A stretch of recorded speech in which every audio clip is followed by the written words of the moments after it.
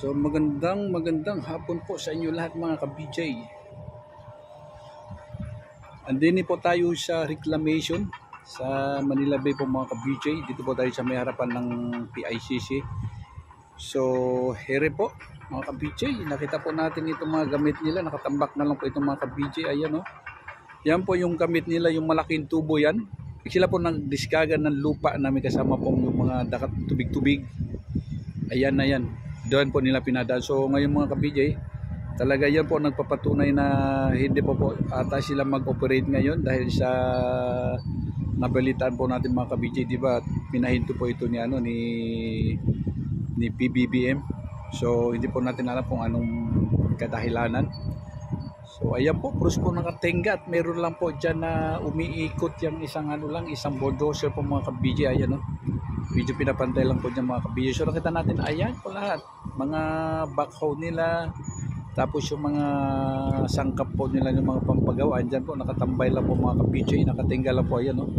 so nakikita po ninyo yan lahat po yung mga kulay itim po yan yan po yung mga gamit po nila mga ka-PJ so nakita ninyo po mga ka-PJ yan po yung mga gamit nila yan ayan no? So ang ganda na sana napakataas na po sana napakaluwag na po mga ka-PJ so talagang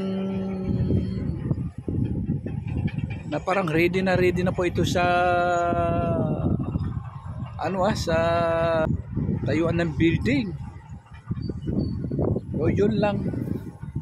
At nakatingga po sila ngayon mga ka-PJ at ayun po nakita po natin doon bandang dulo. Mukhang pinapataasan po po ata ito mga ka-PJ dahil sa bandang dulo yun no, dami po po yung mga tambak na mga buhangin so tapos pang, pang banda din po mga ka-PJ nakapatag na po siya maluwag na ito.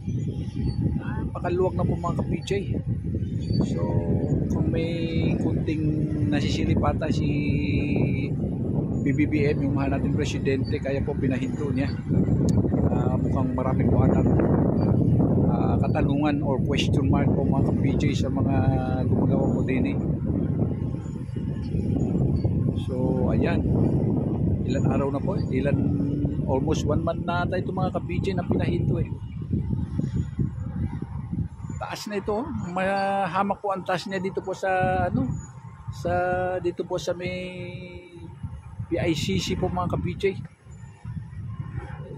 tingnan ninyo. So mamaya yan. Tingnan ninyo po yung building ng ano building po ng MOA tingnan mo yung tinaman po dyan kalahati na lang po lumitaw sa taas po ng tambak po mga ka-BJ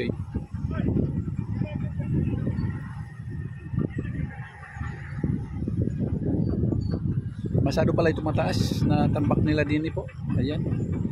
At uh, kaya siguro pinatasan nila para safety po sila pagka just in case po na may malalaking alon hindi na po sila tatamaan po mga ka-BJ talagang nakasafety na po ito talaga. Pinaghandaan na po nila mga ka-BJ pagdating ng araw. Mukhang wala na itong ano ha mukhang hindi na po ito babahain dahil mas mataas po sila mga ka-BJ So yun nga lang, yun po ang isabi ni ano ni advisor ni former Senator uh, Juan Ponce Enrile pag ito daw po natambakan na ito lahat itong Manila Bay dahil maluwag po ito. Halos ako po ito lahat po mga, mga ka-BJ baka may posibilidad po na maging talagang bahain talaga ito Metro Manila, maging lubog po ito sa baha. So kung tutusin natin talaga mukhang may posibilidad talaga, totoo talaga ang ang ano ni former Senator Enrile dahil sa pagpuros lupa na po dyan sa lahat yan sa Manila Bay dahil ito pong karagatan po dito sa Manila Bay wala na pong mga ka-BJ ito karagatan papuntang ano papuntang Cavite wala na po dahil puros ano na po siya puro sa lupa na po mga ka-BJ so ibig sabihin ang tubig galing po dito sa Metro Manila wala na po mapupuntahan, kulong na po siya. So parang totoo po yung mga ka-BJ yan. Pagka nagkataon dito, pagka puros, ano na po yan, puros lupa na po yan itong, itong Manila Bay. So baka isa din po yung siguro yung mga reason yan, ano, isang ano rin Mukhang hindi po ata ng pag-aralan ito mabuti ah nung ano ito, nung ginawa po itong mga kabidyo, nung inaprubahan po itong mga kabidyo, kung hindi ato talaga ito na pag-aralan mabuti pagdating po nung araw. At uh, pagka ito po ay pagpuros kalupaan na po ito sa harap natin po itong mga kabidyo dito po harap ng Metro Manila dito sa Manila Bay. So, tendency po no, talagang papahain tayo talaga ng Metro Manila. Kung ngayon nga alam mo yan, sobrang ng baha, kunting ulan lang. Lalo na siguro pagkawala na mapupuntahan yung mga tubig galing dito sa kalupaan. Dahil harang na po siya mga ka-PJ. Tingnan mo, harang na po yung mga ka-PJ. Bali, ang lagusan nila po mga ka-PJ is uh, Pasig River na lang. Eh, gano'n lang kaliit ng Pasig River po mga ka-PJ. So, hanggang dito na talaga. So, napakataas na pala eh. Talaga hanggang dulo na. Tingnan ninyo mga ka-PJ. Ang taas na talaga. Wala na talaga tayong matanaw din yun. So, baliyan lang po ito kung ginigilid dire. Ayan po yung ano. Yan po ang ginawang kanan lang po mga ka-PJ para tubig. Ayan. Tingnan niyo ang taas ng mga ka-PJ. So, dati natin po mga ka-PJ, mas habang po ang taas na tinatayo natin po din. So, ngayon, ngayon, tingnan niyo Nakaharang na talaga siya. oh. Grabe na talaga ang taas. Ah, nasa mga siguro nasa mga oh, one and a half months lang po tayo hindi nakapag-vlog hindi so pagbalik natin dito ayan na po mga kabidyo tingnan ninyo ang laki na laki na po ng pinagbago hindi na po natin makikita yung yung bandang ah, bataan. So hindi na po natin makikita. Karagatan po dito wala na. Hindi po natin masilayan ang karagatan po dito mga kabidyo. Tingnan ninyo. Ayan na po nakaharang sa harapan natin po. Malabundok na po mga kabidyo sa taas po sa luwag po na tinagpuan nila mga PJ yung po pinakatulo so ganun na po mga PJ ganun na po kataas nito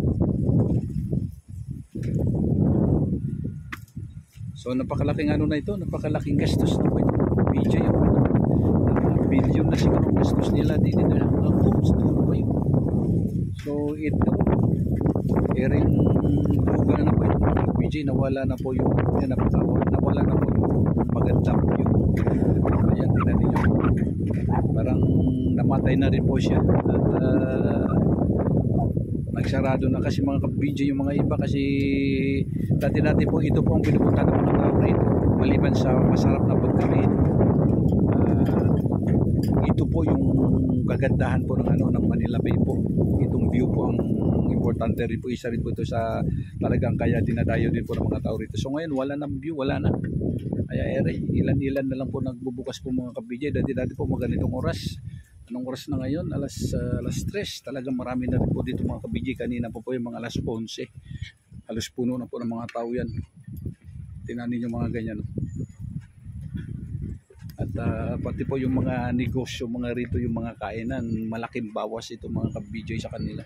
Napakasarap po yung mga pagkain dito po mga ka-BJ. Mga seafoods yan.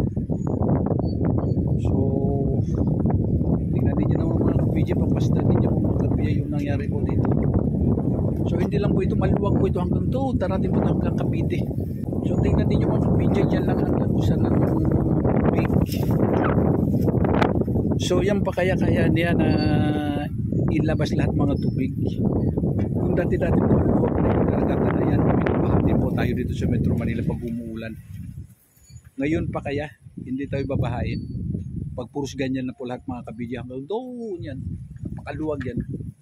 Tingnan ninyo po, mapagbas na ninyo po mga kabidya yung building na dyan sa mo. Tingnan ninyo. Lit-lit na lang po lumilito po mga kabidya. So yung banda ron, tataasan pa yung mga kabidya. Hindi lang ito bantaas. Tatambakan pa po yung mga kabidya. So tingnan ninyo mga kabidya, nakatingga na lang po lahat sila. Tingnan ninyo, wala na talagang gawa. Hinto po sila lahat mga kabidya. Ayan po ang nangyari dito mga kabidya. Walang wala na talaga. Nakatingga na lang sila mga kabidya yun maganda sa nagawa nila. At kaso lang napahinto sila mga ka-PJ. Ay siya nga pala. Uh, shoutout pala dyan sa tropang tausog ha. Mega mega love shoutout po sa inyo lahat dyan sa tropang tausog. At saka dyan po sa mga kapunduhan dyan sa Sitangkay. Shoutout po sa inyo. Sa kapunduhan po dyan sa Pagadian. Shoutout po sa inyo. Sa lahat po sa inyo sa mga namit natin dyan sa Tawi-Tawi. Shoutout po sa inyo lahat. Saka lahat po ng mga viewers po natin. May may love shoutout po sa inyo lahat. Marami tayo na-meet dyan ha, sa mga ano sa Bungaw Peak. So shoutout din pala. At naalala ko pala meron po ako na-meet dyan sa Bungaw Peak. Sa Budbungaw. Dalawa po taga Dipulog ha. Dalawa sila, dalawang babae. Shoutout po sa inyo dalawa dyan ha. Taga Dipulog, nagano lang po sila doon. Nagpunta lang po sila doon sa Bungo, nagtourist lang po sila doon. At uh, namasyal lang po sila sa Bungo. So nabit natin po sila ng dalawa. Sa, doon po sa Budbungaw, dalawang taga Dipulog. Ayan. Shoutout po sa inyo ang dalawa. So, yan po mga ka-PJ. At ulit po natin. Nandito po tayo sa, ano, sa reclamation po mga ka-PJ. At ah, dito po sa sa may tapat po itong ano, tapat po ito ng PICC dito po sa gilid po ng mga mga ka-PJ.